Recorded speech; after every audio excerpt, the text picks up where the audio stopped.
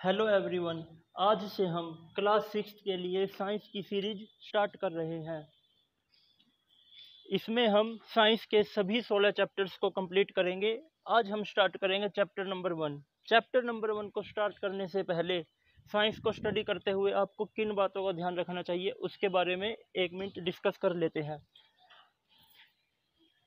Science को कभी भी रटकर याद नहीं किया जा सकता। साइंस को हमेशा समझकर किया जाता है। आप जितना साइंस को समझोगे, उतनी ही आपकी अंडरस्टैंडिंग अच्छी होगी और साथ ही में क्वेश्चंस को याद करने में और उनको ज़्यादा लंबे समय तक याद रखने में भी आपको मदद मिलती है।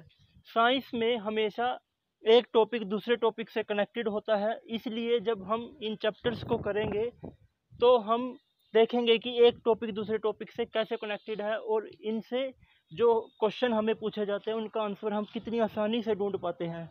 तो इसी के साथ स्टार्ट करते हैं चैप्टर नंबर वन चैप्टर का नाम है food where does it come from पहले इसको समझते हैं कि इसका मतलब क्या है। जो भोजन हम खाते हैं, वो भोजन कहाँ से आता है?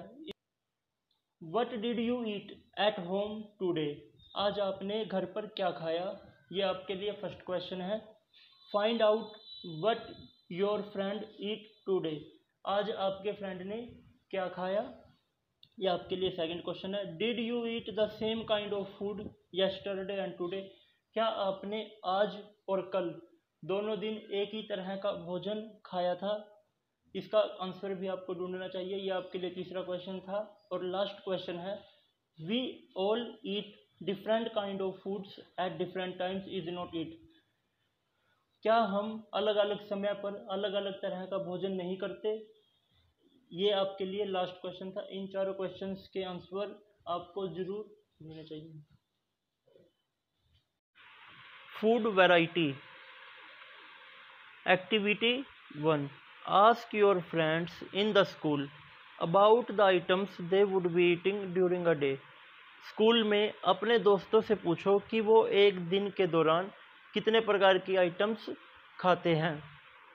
See if you can also get this information from friends staying in different states of Haryana देखो, अगर आप यह इंफॉर्मेशन अपने उन दोस्तों से भी ले सकते हैं जो भारत के और अलग स्टेट्स में रहते हैं। इसका मतलब है, मान लीजिए आप रहते हैं हरियाणा में और आपका कोई फ्रेंड या आपका कोई relative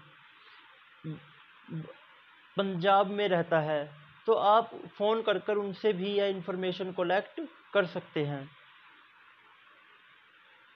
List all the items in your notebook as given in table point one point one जैसा कि टेबल वन पॉइंट वन में दिया गया है, उसी तरीके से एक लिस्ट अपने नोटबुक में बनाकर इन सभी आइटम्स को उसमें लिखो। For as many friends as possible जितने ज़्यादा दोस्तों का आप ये डाटा कलेक्ट कर सकते हो, उतने ज़्यादा दोस्तों का ये डाटा आपको कलेक्ट करना है। मैं बताता हूँ कि टेबल वन पॉइंट वन में आपको क्या लिखना है। We what do we eat हम क्या खाते हैं? यहाँ पर लिस्ट दे रखी है, जिसमें एक तरफ़ लिखा हुआ है नेम ऑफ़ द स्टूडेंट्स या फ्रेंड दूसरी तरफ़ लिखना है food items eaten in a day यानी एक तरफ़ तो आपको अपने फ्रेंड का या अपने रिलेटिव का नाम लिखना है, और दूसरी तरफ़ उसने जो जो एक दिन में खाया है, उस, उन सभी आइटम्स के नाम लिखने हैं। इस तरीके से आपको ये लिस्ट मेंटेन करनी है। There seems to be so much variety in the food that we eat जैसा कि जब हम ये टेबल बनाएँगे 1.1 तो हम देखेंगे या आप देखेंगे कि जो फ़ूड आइटम्स हैं, वो बहुत ज़्यादा प्रकार के होते हैं। वैरायटी का मतलब होता है काफ़ी ज़्यादा उसके अंदर मतलब अलग अलग चीज़ें होना। तो हम देखते हैं कि फ़ूड बहुत टाइप के होते हैं, यानी बहुत ज़्यादा वैरायटी है फ़ूड के अंदर।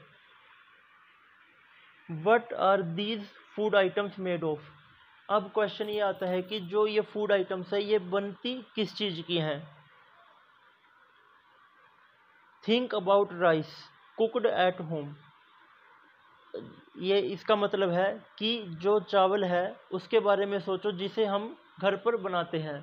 यानी जो चावल हम, हमने घर पर बनाया है पकाकर, उसके बारे में सोचिए। We take raw rice and we take raw rice and boil it in water हम कच्चे चावल लेते हैं और उसे पानी में उबालते हैं। जस्ट टू मटेरियल्स और ingredients are needed to prepare a dish of boiled rice इसका मतलब है कि सिर्फ़ दो मटेरियल से या दो इंग्रेडिएंट से इंग्रेडिएंट का मतलब होता है किसी एक चीज़ को बनाने के लिए जितनी भी अलग अलग आइटम्स की हमें ज़रूरत पड़ती है, उसे उस चीज़ के इंग्रेडिएंट्स कहते हैं। जैसे यहाँ पर चावल बनाने के लिए हमें कच्चे चावल और पानी की ज़रूरत होती है तो बॉइल्ड चावल बॉइल्ड चावल का मतलब होता है उबले हुए चावल। बना, बनाने के लिए हमें सिर्फ़ दो ही इंग्रेडिएंट की ज़रूरत है, पानी की और चावल की। On the other hand some food items are made with many ingredients और जबकि कुछ जो आइटम्स है, वो ऐसी होती है जिनको बनाने में दो से ज़्यादा इंग्रेडिएंट्स की ज़रूरत होती है। टू प्रिपेयर वेजिटेबल करी जो वेजिटेबल करी होती है, उसको बनाने के लिए हमें we need different kinds of vegetables salt spices oil and so on उसको बनाने के लिए हमें अलग अलग प्रकार की सब्जियों की, नमक की स्पाइस होते हैं, मसाले ऑयल एंड सोन और भी बहुत सारी चीज़ों की ज़रूरत होती है। Activity two choose some of the items you listed in table 1.1 जो आइटम्स आपने 1.1 में लिखी हैं, उनमें से कुछ को चूज़ करो and try to find out what ingredients are use to prepare this और डिस्कस कर कर ये खोजने की कोशिश करो कि इनके इंग्रेडिएंट्स क्या है, यानी ये जो आइटम्स हैं, इनको बनाने में किन किन चीज़ों की ज़रूरत पड़ती है। By discussing with your friends and elders at home अपने दोस्तों से और अपने घर में बड़ों से पूछकर इसके नॉलेज प्राप्त करो। लिस्ट दैम इन टेबल 1.2 और इन इंग्रेडिएंट्स को टेबल 1.2 में लिखो। Some examples are given add some more items to this list कुछ एग्जांपल्स वो टेबल 1.2 में दे रखे हैं, उसको देखकर और एक दो चीज़ इसमें ऐड करो।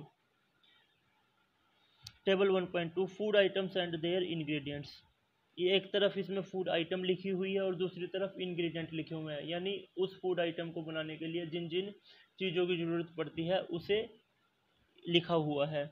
जैसे रोटी है, रोटी को बनाने के लिए आटे की और पानी की ज़रूरत होती है तो रोटी के लिए जो इंग्रेडिएंट है, वो है आटा और वाटर जो दाल है, उसको बनाने के लिए पल्सिस की ज़रूरत पड़ती है। पल्सिस कहते हैं, दालों को ही पल्सेस कहते हैं। वो जितनी भी दालें होती हैं, उन सभी को कहते हैं पल्सेस तो इसके लिए पल्सेस की ज़रूरत पड़ती है वाटर की ज़रूरत पड़ती है साल्ट की ऑयल या घी और स्पाइसेस यानी मसालों की ज़रूरत होती है। वट डू वी फाइंड जो टेबल 1.2 है, उससे हमने क्या खोजा? Do we find some ingredients common for different food items क्या आपने यह पाया कि जो कुछ इंग्रेडिएंट्स हैं वो बहुत सारे फ़ूड आइटम्स में कॉमन यानी उन सब में सेम तरीके से यूज़ होते हैं? जैसे हमने ऊपर देखा था वेजिटेबल करी और नीचे देखा था दाल। इन दोनों को बनाने के लिए स्पाइसेस की ज़रूरत होती है, यानी ये इन दोनों में कॉमन है। तो बहुत से इंग्रेडिएंट होते हैं जो बहुत सारे फ़ूड आइटम्स में कॉमनली यूज़ किए जाते हैं। डिस्कस इन क्लास इसके बारे में अपनी क्लास में डिस्कस करो। So where do these ingredients come from जो ये इंग्रेडिएंट्स हैं, अब क्वेश्चन सबसे पहले हमने क्वेश्चन किया था कि जो फ़ूड आइटम्स है, वो किन से बनती हैं? उसका आंसर हमें मिला कि वो इंग्रेडिएंट से बनती हैं। अब नेक्स्ट क्वेश्चन है कि जो ये इंग्रेडिएंट्स हैं, ये कैसे बनते हैं? फ़ूड मटेरियल्स एंड सोर्सेज कुछ जो फ़ूड मटेरियल है, यानी जिनसे फ़ूड बनता है, और उनके सोर्सेज क्या है, अब इसके बारे में हम डिस्कस करेंगे।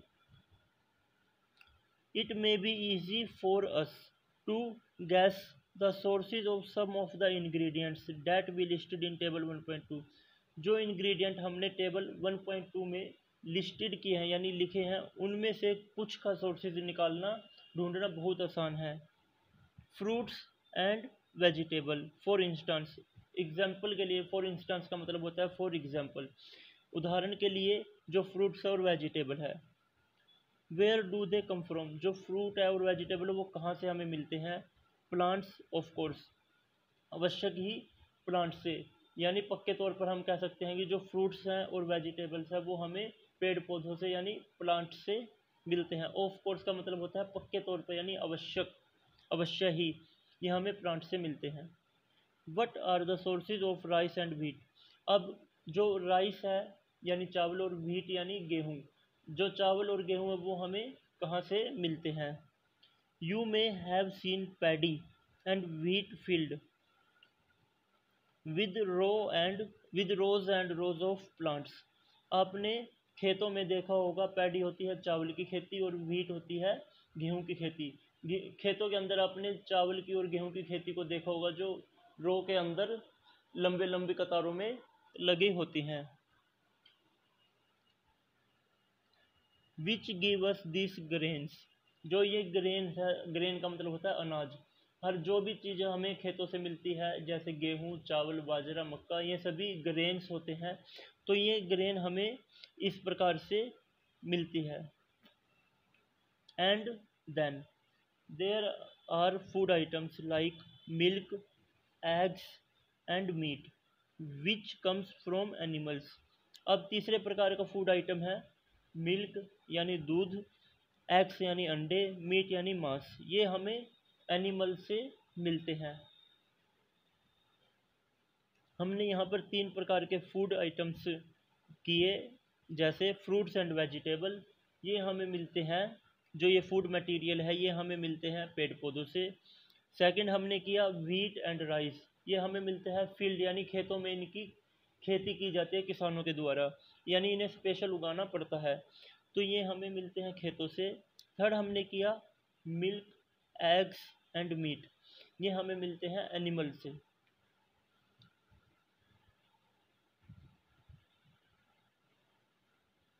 नेक्स्ट एक्टिविटी है एक्टिविटी तीन। Let us take the food items listed earlier and try to find out where they come from अब देखते हैं कि जो फ़ूड आइटम्स हमने ऊपर लिखी हैं, उनमें से ये खोजने की कोशिश करते हैं कि ये हमें कहाँ से मिलती है? The ingredients and their sources जो ये फ़ूड आइटम्स हैं, इनके लिए जो इंग्रेडिएंट्स हैं, वो हमें किस प्रकार से मिलते हैं इसे हम खोजने की कोशिश करते हैं कि इन इंग्रेडिएंट्स का सोर्स क्या है। Some examples are shown in table 1.3 कुछ एग्जांपल्स को 1.3 में शो किया गया है and add more examples to this list इस लिस्ट में और एग्जांपल्स भी आप लिख सकते हैं। यहाँ पर दो फिगर दिए हुए हैं फिगर ए और बी ए के अंदर हम देख सकते हैं कि जो वीट है और जो राइस है, उसकी खेती इस प्रकार से की जाती है। रो के अंदर बीजों को लगाकर उनकी खेती की जाती है। और जो फिगर बी है, इसके अंदर एक किसान अपनी रेडी के अंदर जब फ़सल पक जाती है तो उसकी, उसको काटकर बोरियों में भरकर अनाज मंडी में बेचने के लिए लेकर जा रहा है।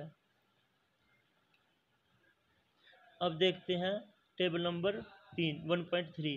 Ingredients used to prepare food items and their sources यहाँ पर एक तरफ़ लिखा हुआ है फ़ूड आइटम दूसरी लाइन में लिखा हुआ है इंग्रेडिएंट्स यानी वो फ़ूड आइटम किस किस चीज़ों से बनी हुई है, और उसके बाद लिखा हुआ है जो ये फ़ूड आइटम्स हैं, इनके लिए सोर्स क्या है। तो यहाँ पर फ़र्स्ट आइटम ली गई है इडली। इडली, हमें इडली के लिए जो इंग्रेडिएंट है, वो होते हैं rice urad dal salt and water जो राइस है, उसके लिए जो सोर्स है, वो होता है प्लांट। उड़द दाल के लिए आपको यहाँ पर लिखना है कि सोर्स क्या होता है, साल्ट का सोर्स क्या होता है और वाटर का सोर्स क्या होता है। सेकंड है इसके अंदर चिकन करी। जो चिकन करी है, उसको बनाने के लिए हमें चिकन की स्पाइसेस की, ऑयल, घी की और वाटर की ज़रूरत होती है। तो यहाँ पर चिकन के लिए तो लिखा हुआ है कि ये एनिमल से बनते हैं। स्पाइसिस का आपको बताना है।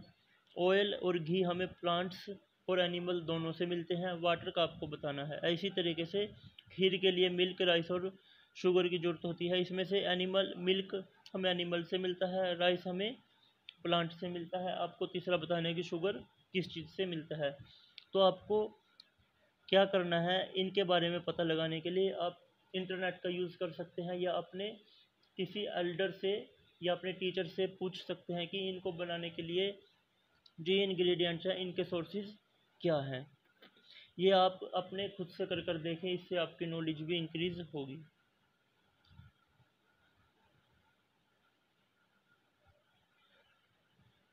What do we conclude from activity 1.3 हम वन एक्टिविटी 1.3 से क्या कंक्लूज़न निकालते हैं, यानी क्या परिणाम निकालते हैं, यानी इसका रिज़ल्ट क्या निकलता है?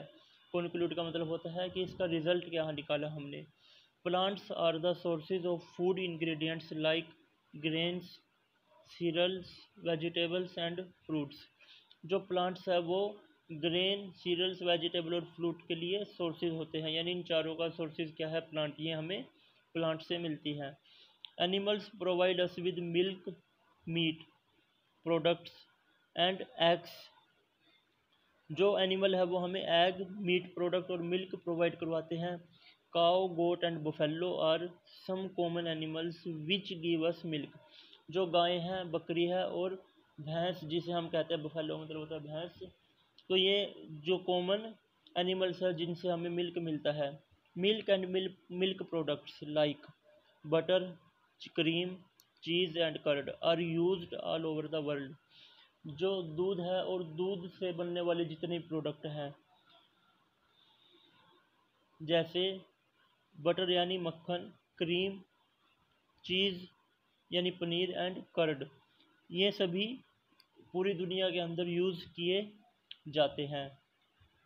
Can you name some other animals which give us milk क्या आप इनसे अलग और एनिमल्स बता सकते हैं जो हमें मिल्क प्रोवाइड करवाते हैं? तो ये भी आपको अपने आप से खोजना चाहिए।